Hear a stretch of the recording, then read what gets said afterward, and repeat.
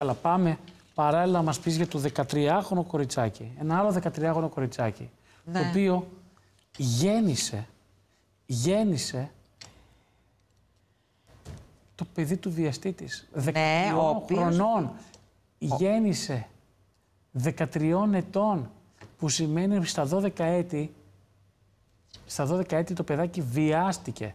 Βιάστηκε και γέννησε το παιδί συγγενή τη. Βιάστηκε από συγγενή τη. Μάλιστα. Και βιάστηκε στη συνέχεια αφού γέννησε και από άλλο συγγενή. Λοιπόν, πώς ξεκίνησε αυτή η ιστορία; Ξεκίνησαν όταν οι δάσκαλοι κατάλαβαν ότι κάτι συμβαίνει με τη 13χρονη. Και σε συνεννόηση με τον διευθυντή του σχολείου, το κορίτσι υποβλήθηκε σε αιματολογικές εξετάσεις Ναι. στο πλαίσιο ενός δίθεν προληπτικού ιατρικού ελέγχου για όλα τα παιδιά στο σχολείο, όπου εκεί διαπιστώθηκε η προχωρημένη εγκυμοσύνη της. Ο γιατρός λοιπόν έστειλε αναφορά στον εισαγγελέα Γηθίου, από τη Λακωνία είναι το κοριτσάκι, γνωστοποιώντας την κατάσταση του παιδιού. Οι αρχές κινητοποιήθηκαν άμεσα, η 13χρονη απομακρύνθηκε από το οικογενειακό της περιβάλλον, μεταφέρθηκε σε μευτήριο στην Αθήνα διότι η κατάστασή της λόγω της ηλικίας της ήταν και κρίσιμη.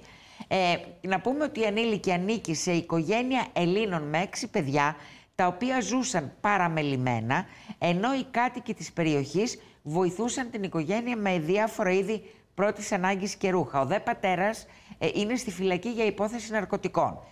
Το κοριτσάκι λοιπόν στην κατάθεσή του το Φεβρουάριο του 23 υπέδειξε ένα συγγενή της, ο οποίος φέρεται να τη βίασε και πιθανόν είναι ο πατέρας του παιδιού. Μάλιστα, ο συγγενής της ανήλικης φέρεται να χρησιμοποιούσε και ουσίες προκειμένου να προχωρήσει στις φρικιαστικές πράξεις του.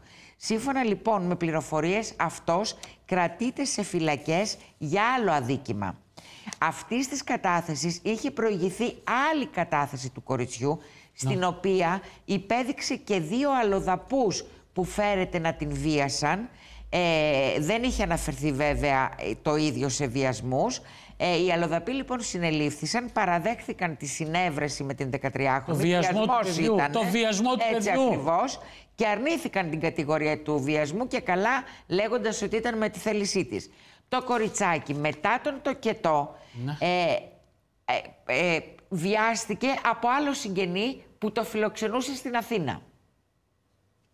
Τελικά ε, ξεκίνησαν οι αρμόδιες αρχές στη διαδικασία αναδοχής υιοθεσίας του βρέφους και αναμένεται βέβαια και το επίσημο πόρισμα για την πατρότητα του μωρού, Ε, του ε, βρέφους. Ανατριχιάζεις. Είναι ανατριχιαστικό. Είναι ανατριχιαστικές εμμυτικές ιστορίες, οι οποίες λες, «Τι- πού, πού ζούμε; Το απομάκρυναν από το σπίτι του, πήγε στην Αθήνα, το πήγαν στη, σε μευτήριο στην Αθήνα να γεννήσει. 13 το κοριτσάκι. ετών παιδί. Φιλοξενήθηκε μετά τον τοκετό από άλλο συγγενή Που βιάστηκε που το βιάστηκε παιδί. και από αυτόν.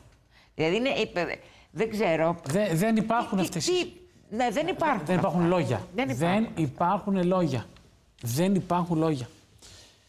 Αυτά δεν υπάρχουν. δεν Πραγματικά υπάρχουν. είναι απίστευτα. Όχι. Όχι. Είναι λυπηρό.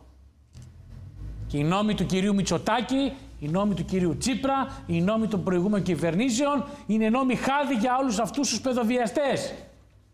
Είναι νόμοι χάδι, θα φωνάζουμε καθημερινά. Καταδίκη, ισόβια, ισόβια που να είναι ισόβια. Να μην ξαναδούν το φως του ήλιου όλοι αυτοί οι ανώμαλοι. Όλα αυτά τα τέρατα της κοινωνίας. Μέσα. Δυστυχώς όμως, νόμοι χάδια είναι κυρία Παχνή. Δυστυχώς. Στα πόσα χρόνια βγαίνουνε; Πολύ γρήγορα. Καταδικάζονται για ισόβια, αλλά έχουν βγει πολύ σύντομα. και ούτε Πλέον. καν ισόβια δεν τρώνε. Α, Ούτε καν πλέον ακριβώς. Και ούτε καν ισόβια, υποτιθέμενα ισόβια για αυτές τις υποθέσεις. Έτσι. Μπαίνουν 4, 5, 6 χρόνια και είναι έξω.